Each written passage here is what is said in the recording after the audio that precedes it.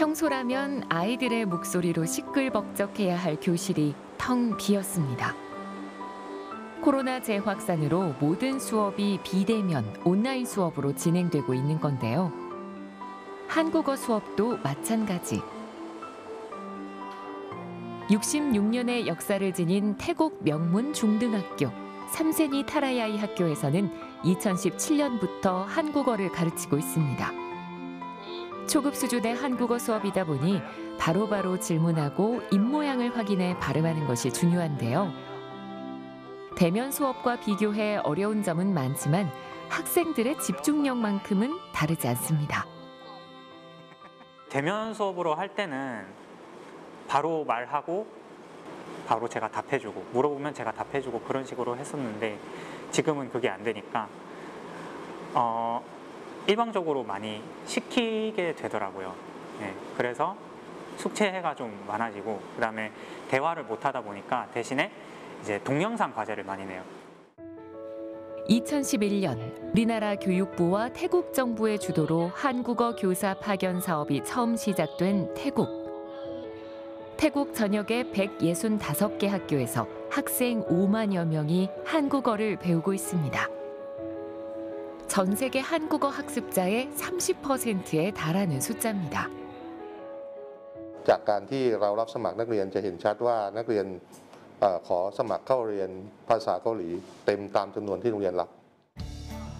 한류 영양과 함께 한국어를 배우는 학생들의 열기도 날로 뜨거워지고 있습니다.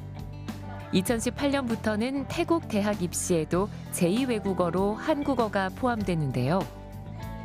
지난 2월 치러진 대학 입시에서는 제2외국어 지원자의 약 13%의 학생들이 한국어를 선택했습니다.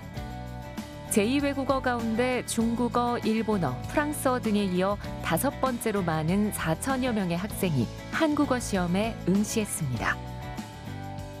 เนื่องจากที่ว่าหนูชอบดูเป็นพวกซีรีส์หรือว่าพวกหนังเกาหลีอะค่ะหนูคิดว่าโตขึ้นถ้าหนูได้มีโอกาสมาทำเกี่ยวกับงานแปลเกี่ยวกับสื่อต่างๆ ของเกาหลีค่ะสำหรับความนิยมในภาษาเกาหลีของโรงเรียนสารวิทยานะคะ ก็จะบอกว่านักเรียนที่สนใจเข้ามาเรียนแผนการเรียนภาษาเกาหลีเนี่ยของเราเพิ่มขึ้นทุกปีนะคะ เพิ่มขึ้นทุกปีจนกระทั่งปีล่าสุดเนี่ยนักเรียนที่สมัครเข้าสอบเข้าเรียนห้องเรียนพิเศษภาษาเกาหลีเนี่ยเกือบ 200 คนนะคะ 재외 동포를 위한 한국어 교육기관으로 전 세계 43개국에 설립된 한국교육원은 2012년 6월 방콕에 개설돼 태국의 한국어 교육을 책임지고 있습니다. 시작은 재외 동포를 위한 교육이었지만 한국어에 대한 현지 수요가 높아지면서 현지인을 위한 한국어 보급에 앞장서고 있는데요. 2018년도에 한국어 교과서를 어, 저희 한국교육원이 태국 정부와 같이 만들어서 어, 지금 학교 현장에서 활용하고 있고요. 어, 지금 이제 이번 어, 올해 작년에 이어서 어, 교, 교과서를, 교과서를 활용한 어, 시청각 교구, 온오프라인 시청각 교구도 저희들이 어, 개발해서 어, 저희가 보급을 하고 있습니다. 지난달에는 태국의 국공립학교 한국어 교사들을 위한 연수를 진행하기도 했습니다. 온라인으로 진행된 연수에는 태국 현지 교사와 한국에서 파견된 한국어 교사 150여 명이 참석했습니다.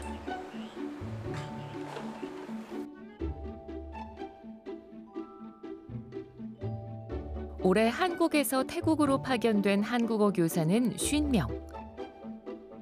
북쪽 치앙마이부터 남쪽 송클라까지 태국 전역에서 한국어 수업을 이끌 예정인데요.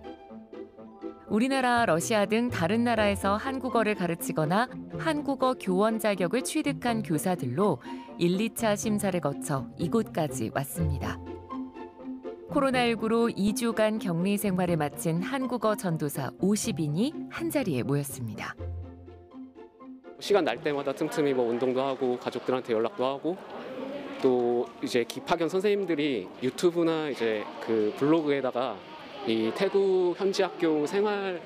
이런 정보들을 많이 올려주셨어요. 그래서 뭐 그런 것들 하나하나 살펴보면서 지내니까 하루하루 시간이 금방 지나갔습니다. 한국어를 가르치는 학교가 많아진 만큼 태국 내에서도 한국어 선생님에 대한 수요가 높아지고 있습니다. คัดเลือก แล้วก็จัดหาครูชาวเกาหลีมาสอนในประเทศไทย คิดว่าเป็นเรื่องที่ดีมากนะคะ ก็ถือว่าเป็นอะไรเป็นประสบการณ์ที่ดีในการเรียนการสอนสำหรับนักเรียนไทยที่จะได้เรียนรู้กับเจ้าของภาษา นอกจากเรียนรู้กับครูไทยแล้วนะคะ การเรียนกับเจ้าของภาษาก็จะทำให้เด็กได้ได้มีความตั้งใจแล้วก็กล้าที่จะพูดภาษาเกาหลีกับเจ้าของภาษามากขึ้นนะคะ เนื่องจากว่า รูเกาหลีอาจจะใช้วิธีการสอนที่ดึงดูด 팬데믹 위기 속에서도 한국어와 한국 문화를 알리고자 하는 신념 하나로 태국에 온 선생님들의 각오 또한 남다릅니다. 저는 태국 학생들이 한국어를 너무 어려워하지 않고 또 한국 문화를 좀 다양하게 체험할 수 있는 기회를 제가 좀 만들어주고 싶어서요. 어, 한국어 수업도 최대한 다양한 활동과 어, 재미있는 것들로 어렵지 않게 느낄 수 있게 하고 또 다양한 문화 체험을 통해서 학생들이 한국어랑 한국 문화에 대해 더 잘 알고 흥미를 가질 수 있게 할 수 있는 시간이 되었으면 좋겠습니다. 이제 막중한 임무를 짊어지고 태국 전역으로 떠나는 선생님들. 한국어 전도사이자 한국어 열풍의 주역으로서 학생들의 한국에 대한 관심과 애정을 북돋아 주기를 바랍니다. 태국의 한국어를 열심히 전파하고 오겠습니다. 화이팅!